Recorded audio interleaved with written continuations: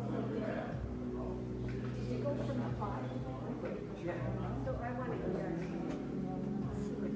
There you are.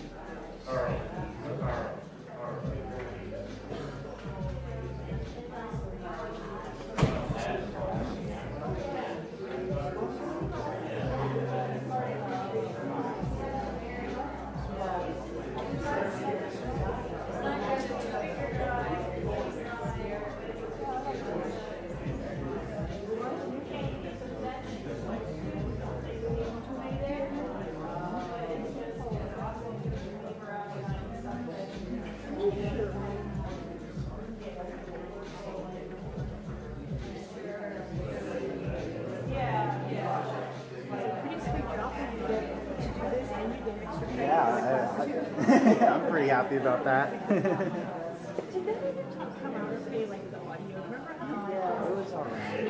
Yeah, this one's gonna be better. It actually fixed the mic, so I. Yeah, I know it stunk, but hopefully this time it'll be good.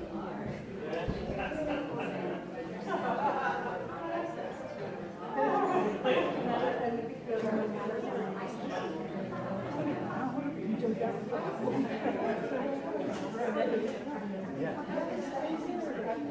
Look at this.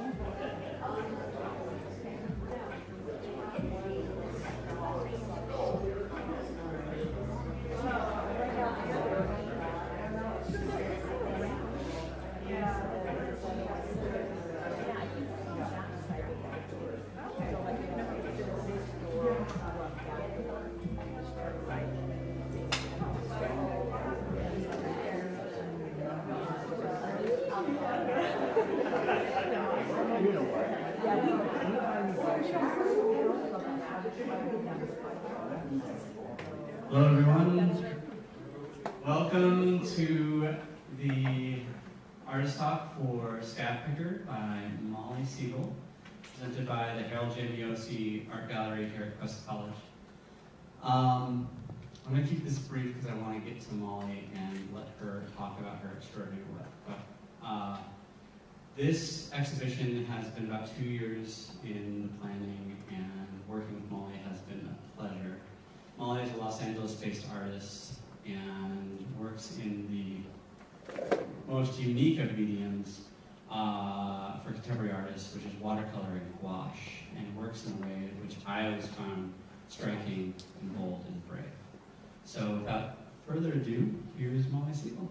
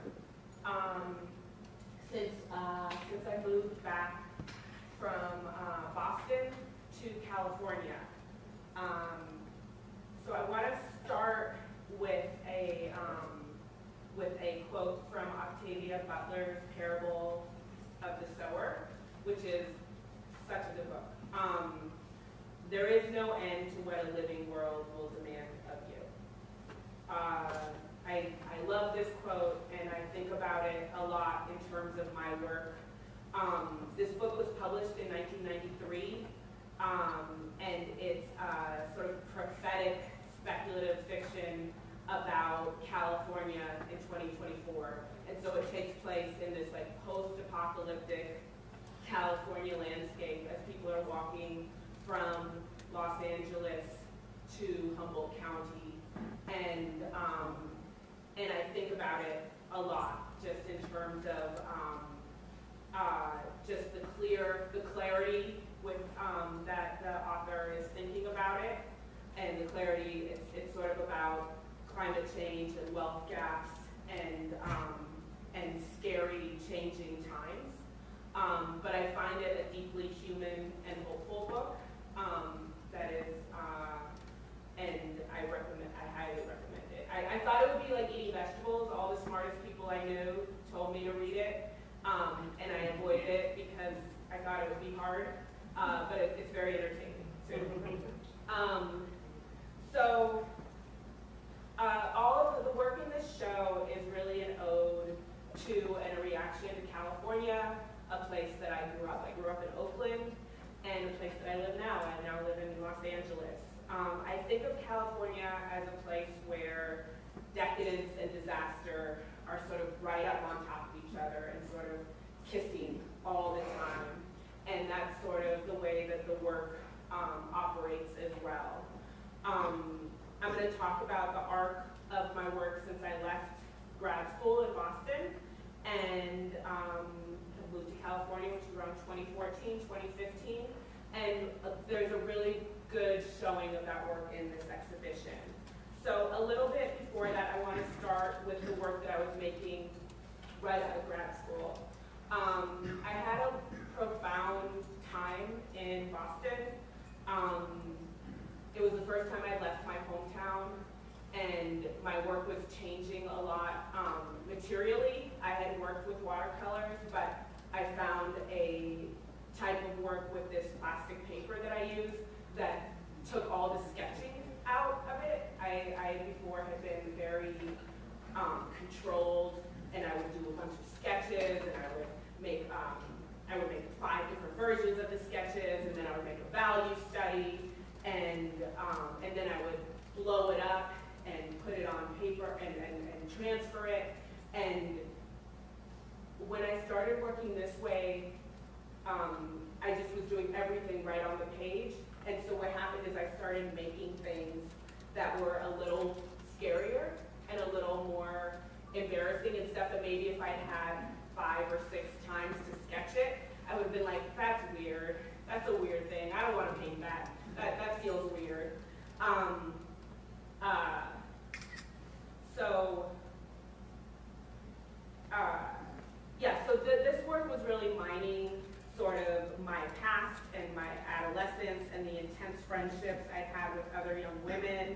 Um, and like I said, it all kind of came like, it was like backdrop and it came like puking out of me in this way, which is a really special moment for an artist to have where the work is just like kind of coming out of you and can't stop. But I, I, I had a lot of backed up things that I wanted to sort of talk about.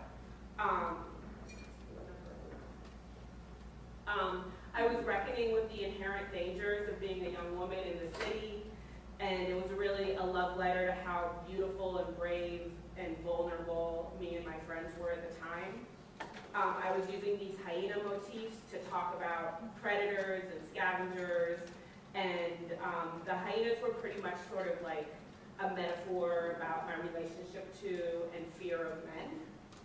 Um, over time, it kind of became about playing with some of the more nuanced ideas of being both preyed upon, but also really internalizing a lot of the misogyny and often making really hurtful choices to other women. And so things kind of changed. So the hyenas at first were like, oh yeah, it's these bad things that are out in the world. And over time, the hyenas were like, oh, it's me. It's, it's sort of, and it became a much sort of darker and more nuanced um, discussion. Um, that these scavengers were sort of part of my psyche as well. And one defining element of these paintings was that they existed in this white void, right? This is watercolor. All the white you're seeing is um, the paper. So the white you're seeing um, there's no place, there's no stage. It kind of was existing as a memory, as a void, um, and there was no sense of place. It all was sort of happening in my mind and in my memory. Um, when I moved back to California, about three things were happening at once. Um, the, one of the things that was happening was I watched, um, was my grandfather had a stroke and um, died. And I was there and I got to watch it.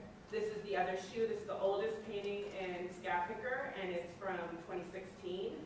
And one thing that really struck me watching my grandfather, watching my grandmother lose my grandmother, was watching something that had given her so much strength, something that had propped up this person and made her so strong when it was taken away, sort of the vulnerability and the void that it left.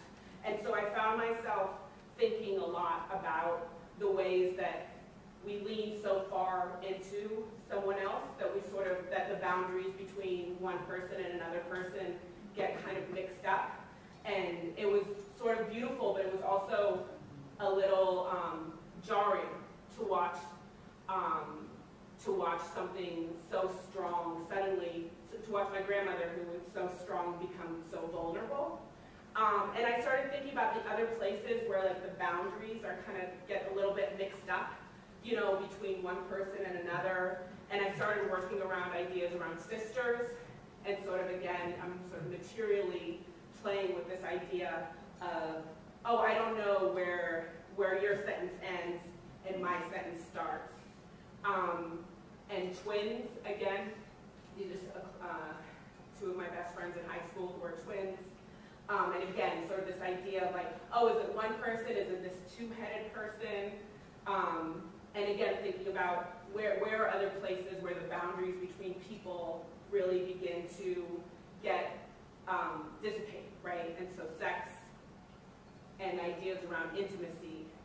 Um, and I really started thinking about this push and pull of intimacy, this sort of give and take, and um, ideas about losing yourself into each other, um, which sort of ended up um, functioning as a way of like sort of intimacy with the land.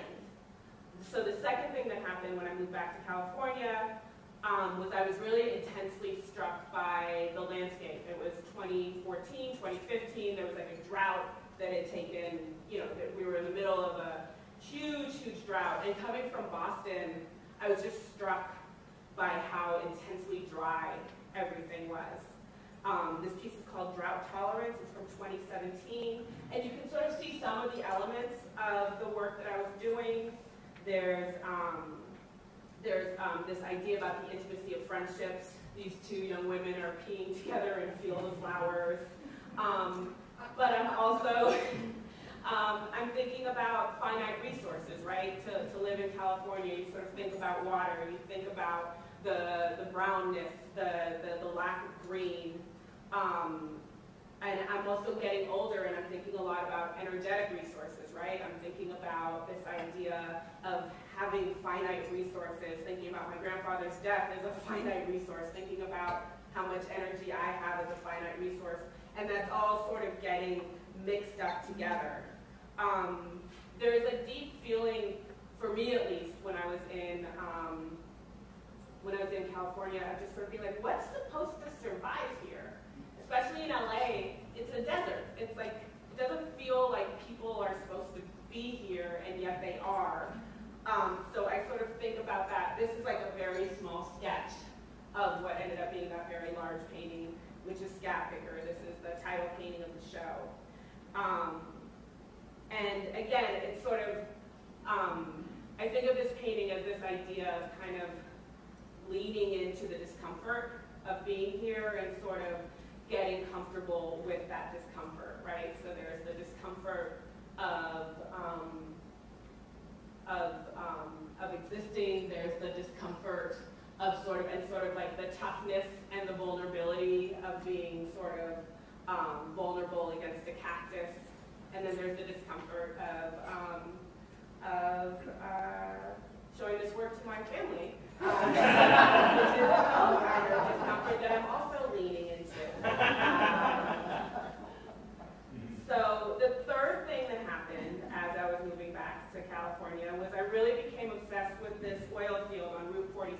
My husband's family is from Salinas, and I was driving back and forth from Salinas to um, to LA, and there's uh, along Route 46 right outside of Bakersfield is this oil field, and it goes on for so long. It's oh maybe that uh, that that video might be video. Um, uh, how do we get it? Just press play. I'll be there. We don't need the- maybe we- No more videos. Or- Okay, um, or here, I'll, I'll go there.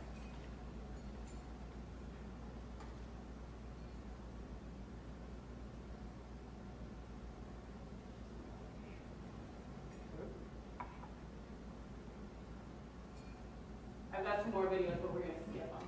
So, um, but you get the idea that sort of this, um, it felt like, it felt like, oh, one thing was I grew up in California and I'd never seen, I'd never seen so many, so many oil fields. So it felt like sort of a secret that I didn't know about. The other thing is that they reminded me of like an apocalyptic fairground or like dinosaurs or dinosaur-sized like dipping birds, those things at Japanese restaurants. And I was just really visually and aesthetically like kind of obsessed with them. And I didn't totally know why, but um, but I began to really kind of play around um, with these elements. And I started mixing and matching and trying to figure out what the work means. The work that I was making, um, the hyena work, I was really clear. It was like work that had, I knew exactly what I was doing, right? I was making stuff and I was like, hyenas are men and this is a memory I have or whatever. And this work was very much like, I don't know. I don't know why. I don't know why I can't get these oil fields out of my head. I don't know why I'm thinking about them in terms of all of these other things. And I started, um, I started really thinking about this idea of finite resources, right? And that all of this stuff sort of felt like, oh, this is about the push and pull. This is about the things that give us strength, whether it's oil, whether it's our housing, any of that stuff is it's finite and it also it's got a cost, right? And sort of thinking about these costs and these limits of intimacy. Um, this is Crumbs in the Bed. It's from 2015. Um, and again, I'm starting to think about, um, you know, things that give us comfort. And I'm, still got the hyenas in there. Um, these paintings are starting to get increasingly elaborate. Um, and the other thing that's happening is that they're really existing in a place, right? So instead of the void, these paintings are beginning with, um, with, with a, what I would call like a stage. And then the rest of the painting is coming, um, is coming afterwards. And so these paintings um, the time frame is getting much, much larger. I was talking to some people in the gallery. This is the beginning of, um, of Shoot Out the Sun, right? And so this is a good example of it starting with just this oil field on top. And it sat that way, and I didn't know what the rest of the painting was going to be. For a while, I thought this was going to be the painting. Um, and, um, and it sat in my studio for months like that. And then slowly over time, the tent city came, and then the whale came. And then the figures busting out of the whale came. And then in 2019, the excavators came. So this painting actually showed in two or three different, it showed like this, it showed like that, it showed like this. So again, there's like sort of this sort of slow burn of allowing it to kind of reveal itself instead of knowing exactly what it's about. Um, and, and sort of having faith that if I'm interested in something aesthetically or if I'm interested in something, that it will really start to make sense. Um, this is also around the time when um, when the when the tent cities and the homeless encampments begin um, uh, entering. And again, it's sort of this idea of who gets to survive here? Like what gets to survive and what, what, what goes in the process? What doesn't survive in that process? Um, let's see. Um, also, over time, it doesn't, it's not just oil fields, it's pretty much anything I see on the five in between Oakland and LA. So there's cement plants, there's roller coasters, there's uh, Altamont. Um, this, uh, this piece is what I needed was more, but the idea is like they, they, they, these places exist in a place and they're a reaction. They're sort of, so much of my work is like, this is what it feels like to be here. Um, one little side story about this piece is that I had maybe the best reaction I've ever had to my art ever. At uh, a stranger at a party uh, asked what I did, and I told her I was a painter. And she did that thing where she was like, oh, let me look at your work right in front of you. And so she pulled out her phone, and she was looking at it, and she looked at this painting, and she looked at me, and she was like, oh, I get it. This is like when I was a teenager, 30 days after my best friend killed themselves, I lost my virginity because I wanted to feel tethered to the world. And I was like, oh! yeah, yeah, that's, that's it. Or, I mean, maybe I just should have been friends with her. But, um, but it was, again, like to have somebody see that or feel that. Um, I also once had a um, oil executive look at the work and just say, well, in my in my field, you're either fucking someone or getting fucked. And I'm like, oh my gosh, did oil executive just write my artist statement? they might have. Um, I. Uh, over time, uh, fires begin to make their way into the work. This piece is um, this piece is called The Day the Sky Turned Red. It's a reference to September 2020 in the Bay Area when the fires um, made the sky turn red. And um, again, during the pandemic, I had a lot of, Making this work and I had a lot of people call me and they're like, I feel like I'm living inside of your painting. And I felt so bad because um, what a bummer, right? Um, uh, and the fires are sort of continuing here. Um, this is what we whispered and what we screamed. It's from 2021. Um, this is from a Joan Didion quote, the title. I, the way I title things is like I, I take things from songs. I have like a long Google document of, um, of words I like and quotes and mostly song lyrics. Um, but this is a Joan Didion quote that says, um, I think we're well advised to keep on nodding terms with the people we used to be whether we find them attractive company or not. Otherwise, they turn up unannounced and surprise us, come hammering on the mind's door at 4 a.m. of a bad night and demand to know who deserted them, who betrayed them, who is going to make amends. We forget all too soon the things we thought we could not, never forget. We forget the loves and the betrayals alike, forget what we whispered and what we screamed, forget who we were. And I just kind of felt right. I love this idea of this forgetting being its own destruction, right? And sort of, again, so much of my work I think is sort of about cycles and about about destruction and cycles and rebirth and cycles. And so I really loved this quote. And also when I'm doing a talk at school, a Joan Didion quote makes me feel really smart. Um, this piece and a couple of the other pieces were all done at the Quinn Emanuel residency, which is a residency I did at the end of 2021 um, in a uh, law office, in a working in lawyer's office. They gave me this corner studio, um, and working in downtown LA. Um, this is a very funny picture a New York Times reporter took. Uh, uh, that just sort of gives a sense of what it was like because everybody was sort of still masked. It was sort of intense. It was um, part of the reason why the law office was doing it was because um, uh, they had all this office space, right? So this is a corner office. They had all this office space, and the lawyers weren't coming in anymore, and so they were trying to figure out something else to do with it. But um, driving into downtown LA every day, um, again, there was, I, have got some footage, but the video was so complicated, I think I'm going to skip it. But uh, I'll explain. There's just video of um, just there's a woman cleaning. That's my view from outside the window, and it starts with somebody cleaning cleaning the windows, and there's a fire in the background, and there's people swimming in there's people swimming in all of these uh, luxury hotels, and um, it really sort of codified this idea that I already had of like us living in our luxury hotels, sort of watching everything burn. I'm not going to play it um, because I think it'll um, be destructive in its own way. The other thing that was happening was there was so much building happening. This this building here was mid-building, and I was there. I was in this residency for four months. It didn't get touched. It was just all work and stopped on it. Um, and other places there were just cranes everywhere, right? Just so much building. And as I was driving in, I was driving through so many people living underneath the freeways.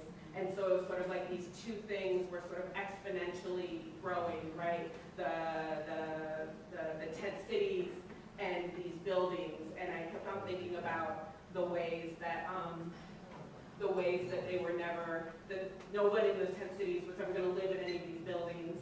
And these buildings were going to sit for so long waiting for people to be able to afford them. And it just sort of felt, again, like this, this sort of never-ending cycle a little bit. Um, let's see. Also, another thing that happened while I was working here, two things happened here. One, they were like, this is a working law office, you can't have nudity.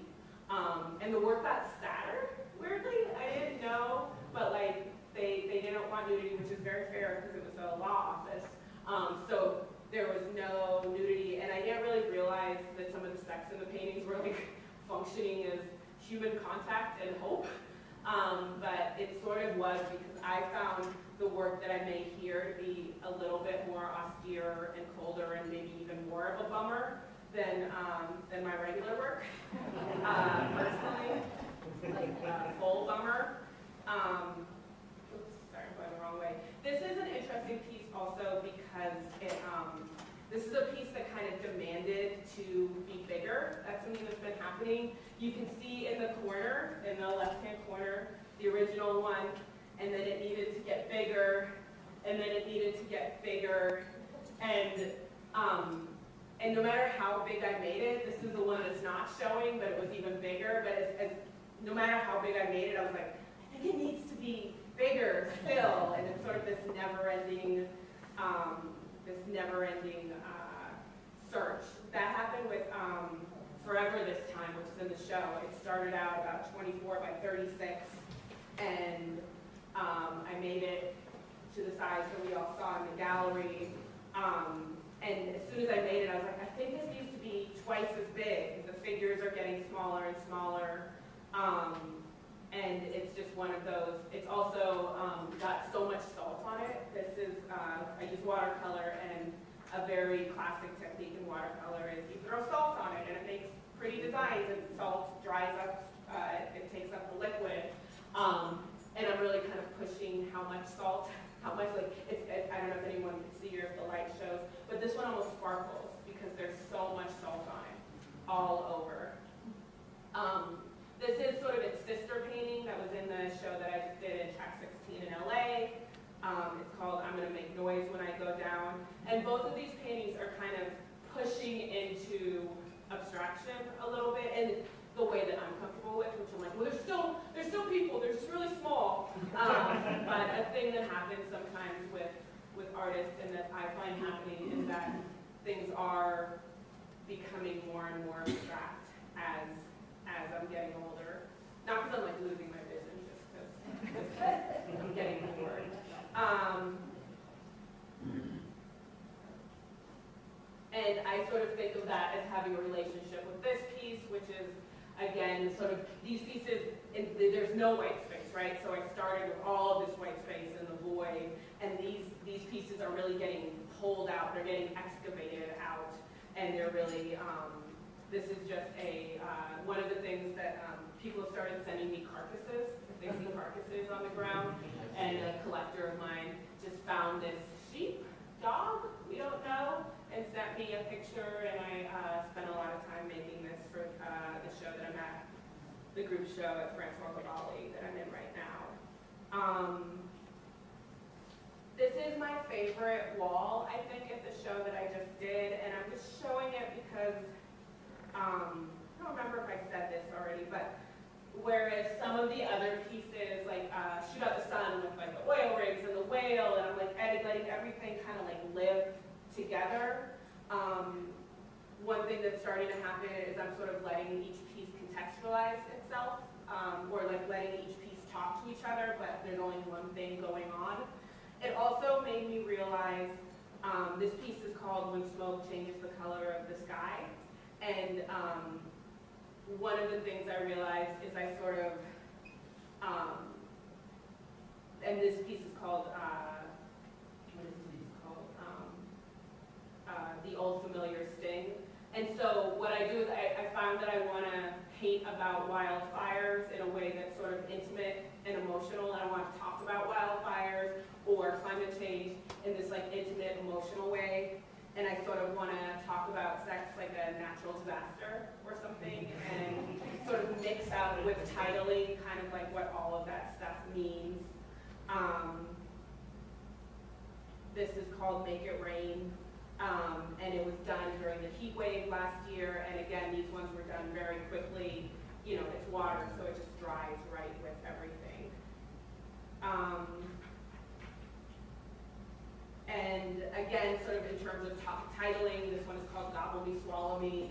Um, it's from a song called WAP, which I will not uh, say more about. But um, but again, I like that mix. I like the mix. It's, it's, it's a Cardi B song, and sort of like this idea of it sort of contextualizing it as sort of sexual and and also um, sort of um, sort of overtaking in the way that kind of fire does.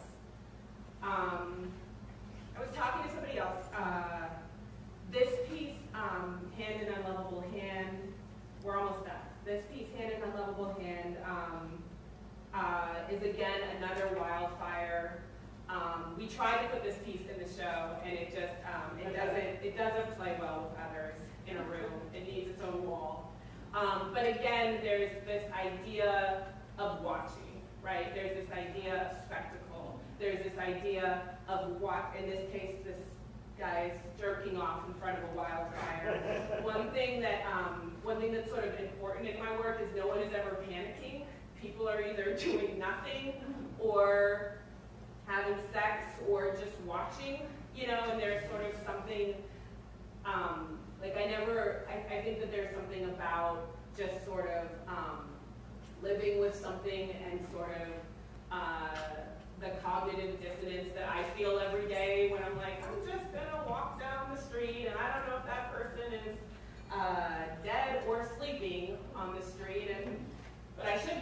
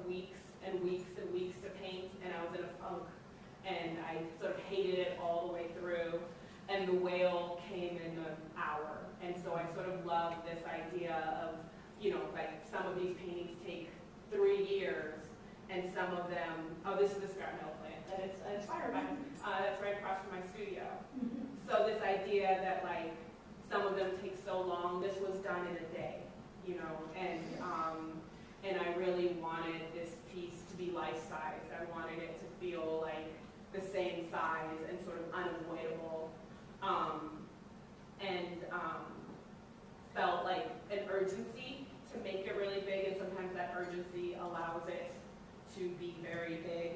Um, this is, uh, I am still right here, and again, we're ending with this whale carcass, um, and just sort of this beautiful spectacle. Um, I was talking to somebody in the gallery just about the sadness of it, but also, you know, all these other things get to live, you know, like bugs and maggots or whatever else is feeding off of it. And there's something that I find really fascinating about about those cycles and sort of beautiful about the uh, the brutality and um, decay of those cycles a little bit. Um, yeah, so I think I covered every piece in the show. Um, that's it. I think we've got. Uh, thank you so much for for being here, and I think we're gonna. Yeah,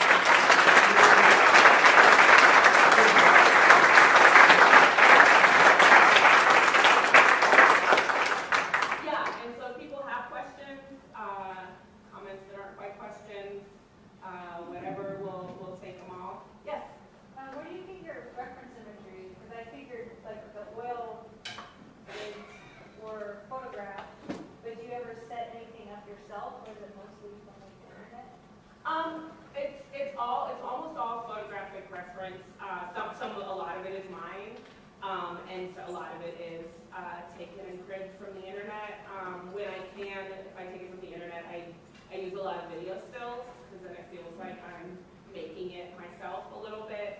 So, um, a mix of video stills, my own reference, um, whatever I can find, and it's all kind of mixed together. But I'm a real, I'm a real, uh, photo photo girly in a lot of ways, and I, um, I definitely use a lot of photo reference. Yes.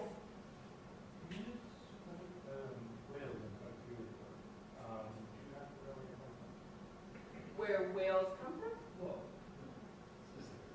Specifically, your use Oh, um, the whales are a little bit like the, the oil fields in that in the beginning I was like, I don't know, I just I just gotta paint these whales. But I, I do think it really is um, the grandeur and the spectacle of seeing something so um, beautiful and seemingly um, uh, seemingly kind of um, something of such strength sort of uh, decaying and rot, and sort of the way that it's like a car accident or something, where it's like you don't know how to look away and you don't really know what to do with the with with the remains. And so I think that there's something um, that I find um, that I just sort of keep on going back to about about something uh, so so stunning and so much bigger than me and so much bigger than any of us and sort of like what we do with the with the death of that a little bit. Um, Yes. I'm just a little curious about your process, the one where you said you showed it and then you worked it. Do you varnish over them? And if you do, then are you just painting on top of the varnish? Uh, I was just wondering, like, how do you preserve this really beautifully fluid? Yeah, I um, I will varnish them. So those ones uh, I showed at very kind of casual shows um, and kind of took my chances. I I didn't varnish them because I sort of knew I wanted to work on them.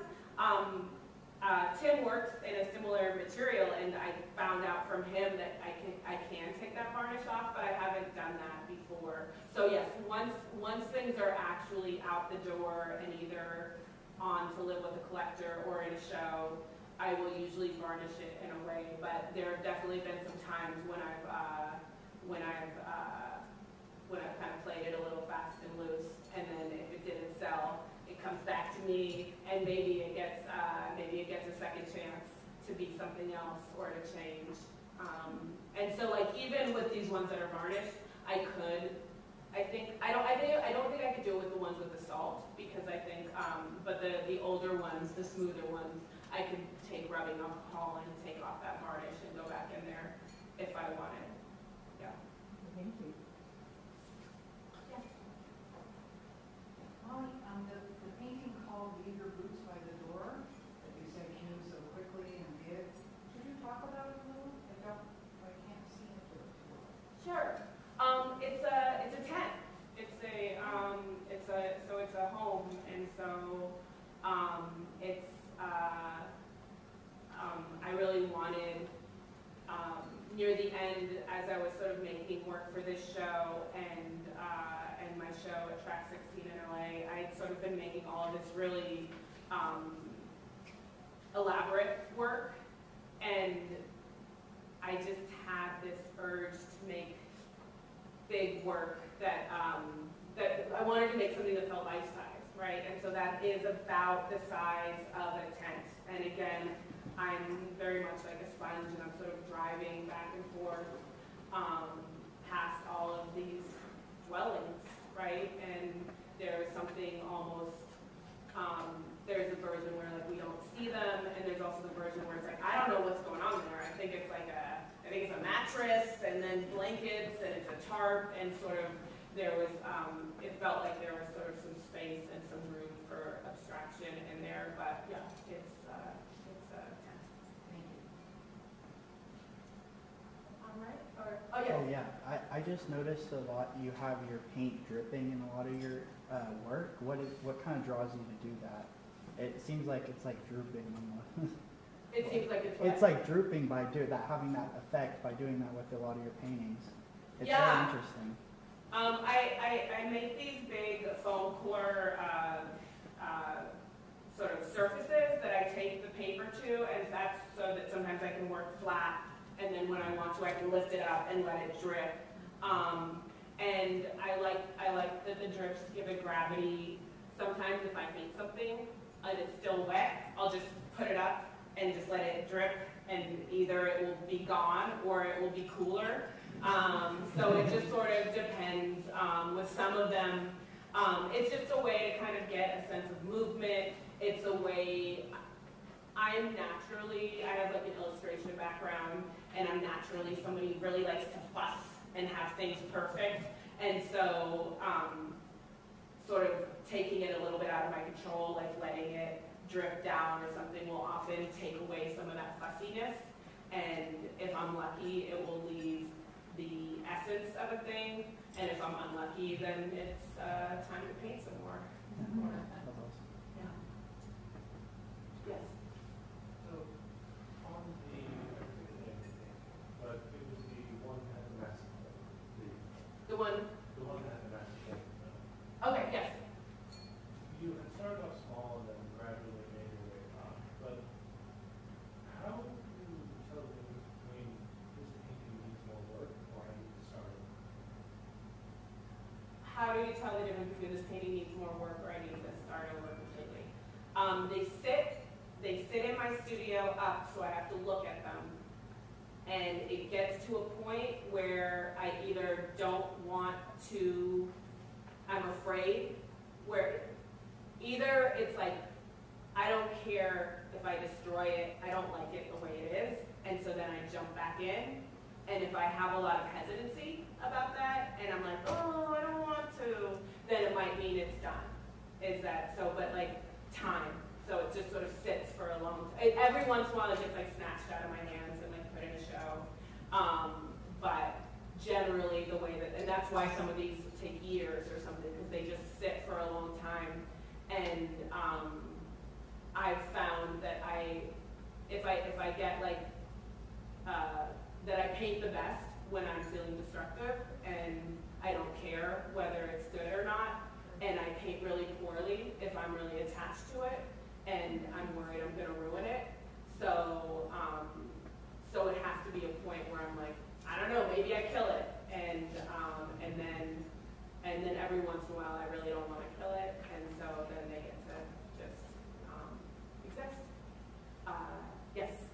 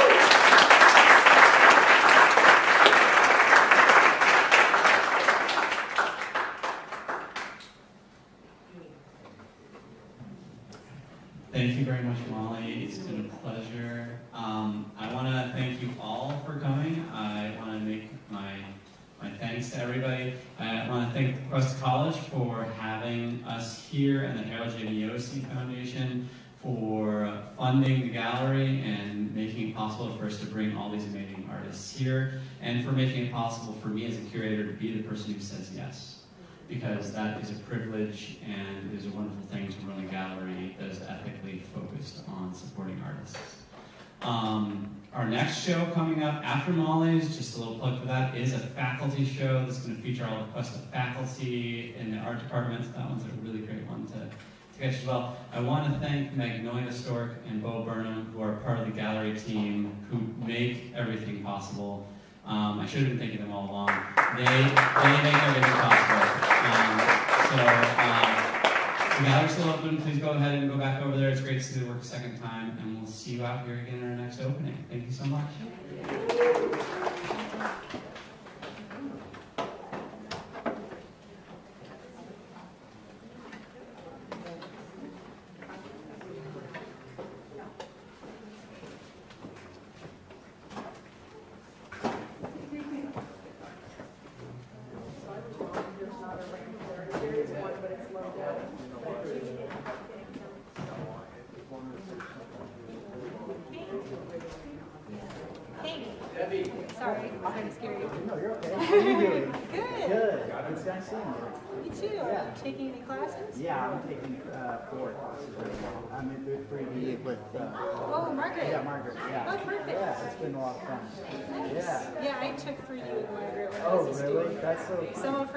Projects are similar, so yeah, it's I fun was to no- see. been noticing that. Hardly using the exact time. Oh, I just instantly remember my art drawings. Oh, no. no, just kidding. Yeah. But yeah, that was a fun project though. Yeah. What other classes? Um, I'm taking cloud development and portfolio. Oh, and, uh, with Brittany. Yeah, with Brittany. She's the first time with her. So. Yeah, yeah. And then uh, Renaissance online. So. Oh, is that with uh, Michelle Gray? Yeah, I'm pretty sure. Yeah, it's pretty cool. I wish there was in person. though. I'm not really getting much from it. Oh, Because it's like, you that's know, hard. yeah, we just look at two images and that's it. Oh, wow. Yeah, like when you look at two images per discussion and that's it. So it's pretty mindless. kind of. Oh, that's too bad. Yeah, it's not very insightful, but Yeah. yeah, I'm hoping that I want to learn more about like artists and stuff. Yeah. Yeah. You should take more, some of her live classes. I've heard really good yeah. things. They were only it was only available online when I was signing up. Yeah, it's a bummer. yeah, I know she has like half of her classes are online, Yeah. half of her classes are in person. Yeah, definitely. Which, but I'm hoping that, yeah, I'm hoping to keep going. That's good for you. yeah, thank you. I kind of finally figured out I want to become a photography teacher. So, Oh, how exciting. yeah, so Nice. still figure out and pathways. Yeah, that's, Yeah. that's a good moment. Yeah, it was, it's been really refreshing. It's like finally I'm like studying, it's Yeah. know- knowing where I'm going. Yeah, have you Yeah. been taking classes with Doug? Yeah, I've been as much as I can. Yeah. Because he's not, he's, he kind of backed away from Yeah, some of he had classes. to. Yeah, of course, but, um, understandable. But yeah, I'm looking to take his alternative class. Ooh, that would be a Yeah, good one. yeah, I'm almost done with my photography certificate, so. Oh. Yeah, there's not many classes. Uh-huh. Yeah. He's an awesome teacher. Either way. I'm so glad you had that time with him. Yeah, definitely. Thank you. Yeah, I had a great time with the class too. Oh, thank you. I, I go, once I once I got through it, I was like, I can do the rest of college. Nice. Yeah. I got this. Yeah, I was like, I got this now. Okay. it was because I was at first it was like the color wheel. I had to Yes, get through it's that. intimidating. Yeah, it is. I did that, printed that class too, in Oh, that yeah. same room. Oh, really? That's Yeah. awesome. So I, I know how it yeah, feels. yeah, but once I got through it, it felt nice. And I still have the color wheel, which is cool. Nice. Now yeah, exactly. well, it was great talking with Yeah, you. you too. Yeah, I hope you have a good rest of your day.